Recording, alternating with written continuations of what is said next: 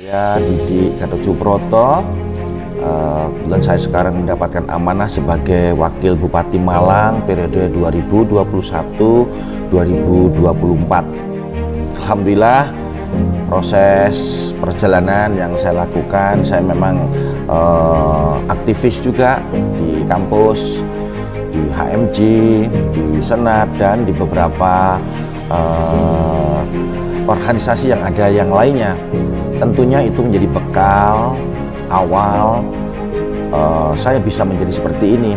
Ya, alhamdulillah saya uh, sejak awal memang saya itu anu disiplin. Saya disiplin, kemudian saya dekat dengan dosen. Saya sejak semester 1 sampai semester akhir saya itu menjadi ketua tingkat terus, Mas. Saya menjadi ketua tingkat. Kemudian apa yang saya lakukan? Gitu ya, saya lakukan?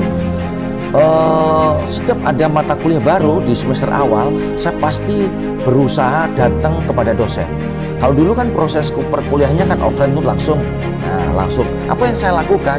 Saya pasti datang kepada pak dosen, mempertanyakan diktat-diktatnya apa yang dipakai. Setelah diktat-diktatnya yang dipakai, biasanya beliau mem saya pinjam itu, saya pinjam. Kemudian saya mesti harus mencari pada kakak tingkat saya materi apa yang beliau ajarkan sebelumnya. Nah, dari diktat yang disampaikan, dipinjamkan ke saya, saya fotokopi. Saya fotokopi, kemudian saya kumpulin, katakanlah ada lima diktat, diktat A, B, C, D. Nah, diktat satu, ya, diktat A, ada bab 3 dan bab 5. Itu saya, saya padukan, kemudian saya kumpulin menjadi menjadi diktat tersendiri. Nah, saya saya kumpulin diktat sendiri, kemudian itu saya fotokopi. Saya fotokopi. Nah, saya foto iya dari uang sendiri tetapi ini menjadi sesuatu yang menarik bagi saya. Saya akan belajar terlebih dahulu.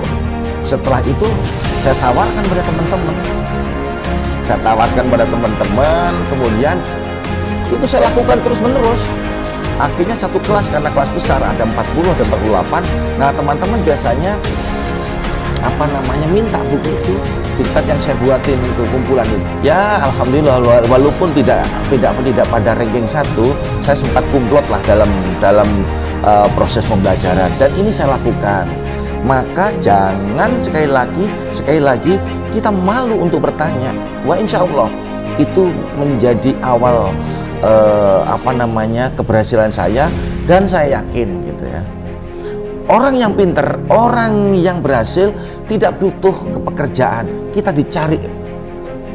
Kita dicari. Nah, untuk diberikan pekerjaan. Gitu.